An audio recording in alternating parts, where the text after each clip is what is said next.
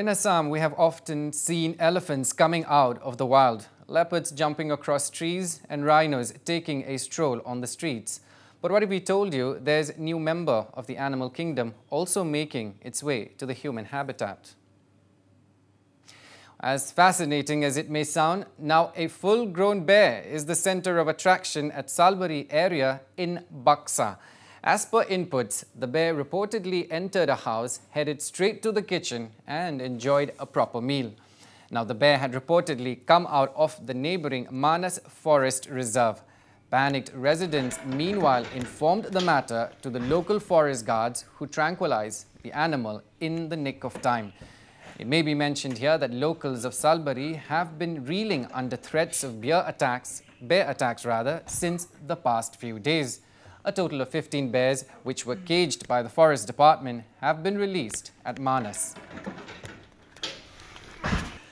আমি যোৱাকালি মানে নটা দহটা মানত এইটো গম পোৱা গৈছে।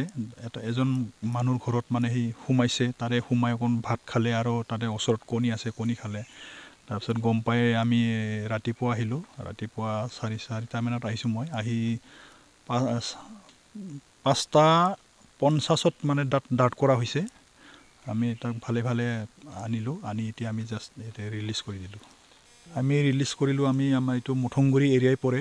এইটো যিটো ৰ'দটো আমাৰ দৈমাৰী আৰু মঠংগুৰি ৰ'দ তাৰ মাজতে আমি এইটো দিলোঁ। এইটো ফুল এডাল্ট আৰু বয়স হৈছে। আমি দাঁত চাইছিলোঁ। দাঁতত আমি তাত দাঁত খহি গৈছে আৰু দাঁতটো অলপ লৰিছোঁ মোটামুটি নাইণ্টি কেজিমান হ'ব। নাইণ্টি হাণ্ড্ৰেড আজিলৈকে পনেরোটা হল।